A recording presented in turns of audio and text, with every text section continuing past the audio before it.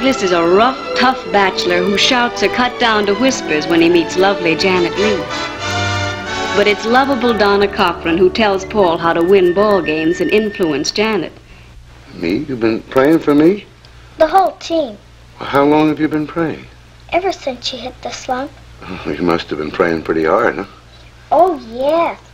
Every night, every morning, and and sometimes during arithmetic. Paul's course in Shakespeare agrees with him during mealtime. But just listen to what happens to him on the ball field. I fire upon you and a pox upon you too. Thou art blind, thou black-livered bat. Say, Hamlet, blow. But that isn't everything.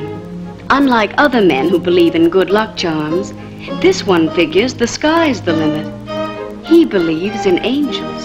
Sure. You speak to angels? Certainly. Can we quote you on that? Why not? An angel sits in back of me in a dugout every day.